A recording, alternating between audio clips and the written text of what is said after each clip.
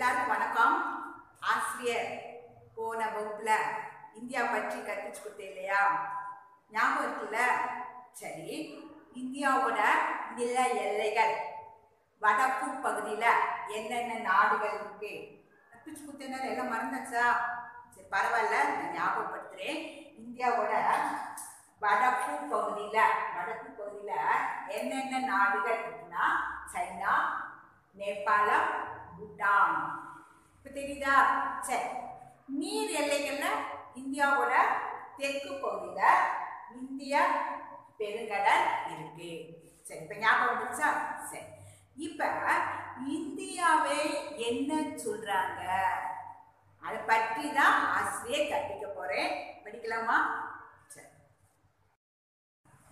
இந்தியாவை பற்றி என்ன சொல்றாங்க?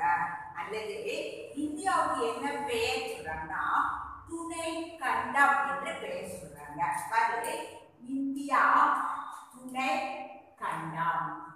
ஏன் ஏன் போல சொல்றாங்க அப்படின்னா இந்தியா நிறைய ஏற்கனவே கற்பிச்சு கொடுத்து நில எல்லைகள் வடக்குல சீனா நேபாளம் பூட்டான் இது போல வேற வேற வேற நாடுகளோட சேர்ந்து இருக்கு இப்ப என்னென்ன நாடுகளோட சேர்ந்து ಇಂಡಿಯಾ ಬಂಗಾಳದೇಶ ಅಲ್ಲದು வங்காளதேசம் அல்லது பங்களாதேஷ் சொல்லலாம் பாகிஸ்தான் மியான்மர் நேபாளம் இலங்கை பூட்டான். திரும்ப பாருங்க. இந்தியா எந்தெந்த நாடுகளோட எல்லாம் சேர்ந்து பக்கத்துல இருக்குன்னா வங்காளதேசம் பாகிஸ்தான் மியான்மர் நேபாளம் இலங்கை பூட்டான். எத்தனை நாடுகள் இருக்கு பாருங்க ஒன்று இரண்டு மூன்று நான்கு ஐந்து ஆறு.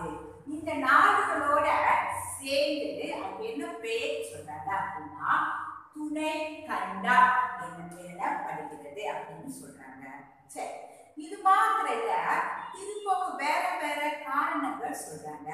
என்ன அப்படின்னா ஒரே கண்டத்தில் உள்ள கண்டம். அது தெரியும். இந்தியா ஆசியா கண்டத்தில் இருக்கு.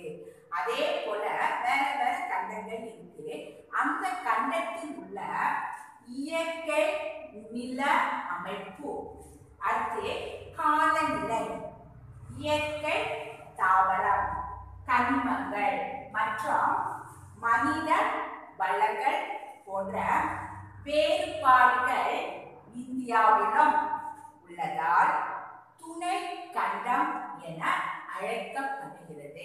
புரியுதா? சரி இப்ப இயற்கை நில அமைப்பு அப்படின்னா என்ன? சரி இப்ப நம்ம இந்தியாவில் வெறும் மலை மாத்திரம் இருக்கா இல்லை மலைகள் இருக்கு சமவெளிகள் இருக்கு பள்ளத்தாக்குகள் இருக்கு இதே போல வேற வேற வேற அமைப்புகள் இருக்கு. இப்ப தெரியுதா? அதுதான் வந்து இயற்கை நில அமைப்பு. புரியுதா? அடுத்தது காலநிலை. காலநிலை பார்த்தா நமக்கு தொடர்ந்து வெயில் மட்டும்தான் இருக்கா? இல்லை.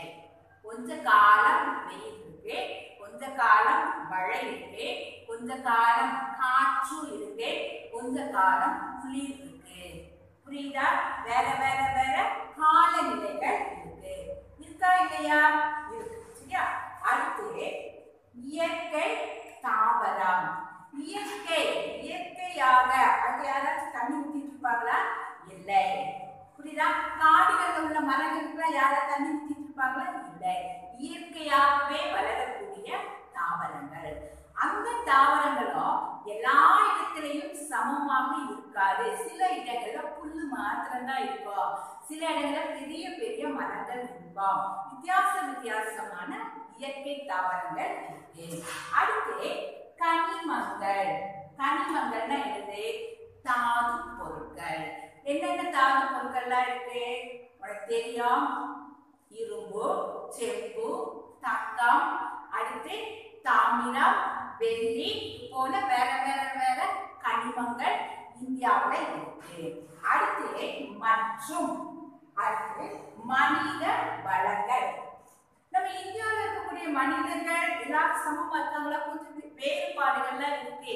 மனித வளங்கள் இருக்கு. இது போல இது வந்து கண்டங்கள்ல தான் இருக்கும். வேறு வித்தியாசம். ஆனால் இந்தியாவிலையும் அதே போல இருக்கிறனால என்ன பெயர் சொல்றாங்கன்னா துணை கண்டம் என்று சொல்றாங்க. இது புரியுதா புரியலையா? புரியுதுல சரி இதுல வந்து குருவினா கேட்பாங்க. இந்தியாவுக்கு ஏ துணை கண்டம் என்று பெயர் சொல்றாங்க கேட்பாங்க. புரியுதா? சரி. இதை பற்றி நல்லா விரி- விரிவா அடுத்த வகுப்புல ஆசிரியர் பாடம் கற்பிக்கிறேன். அது வரைக்கும் ஆசிரியர் கற்பித்ததெல்லாம் படித்து நோட்ல எழுதி போட்டோ எடுத்து எனக்கு அனுப்பணும். புரியுதா? தேங்க்யூ